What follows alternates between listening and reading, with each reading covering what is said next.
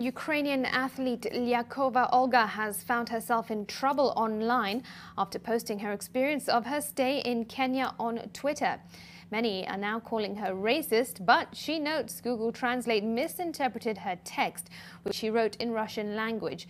The coronavirus pandemic has seen most international travel halted, and as such, a number of international athletes who had come to Kenya for training have been forced to extend their stay here till relaxation of travel restrictions. Lois Wangoi caught up with Olga and filed this report. We find Lyakova Olga at her rented house in Iten, Elgeyo Marakwet County.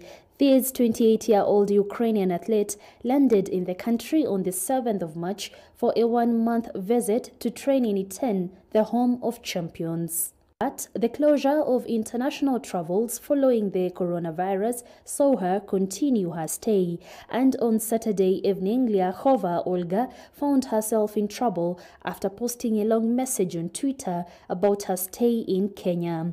The post was largely fair until she questioned how she looked after wearing a local hairstyle, long braids, saying, I'm thinking, what do I look like? A monkey or a wild Amazon or more options? In her defense, Lyakova Olga says Google Translate misrepresented her message, which she had written in Russian language.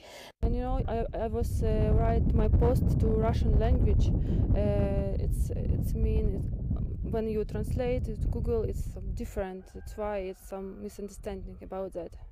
The tweet went on to speak about her thoughts on being stuck in Kenya following international travel ban and I quote, life in Kenya is like getting into the past 20 years but sooner or later civilization will come here. Would you like to be stuck in Kenya? Lyakova Olga once again blaming Google Translate.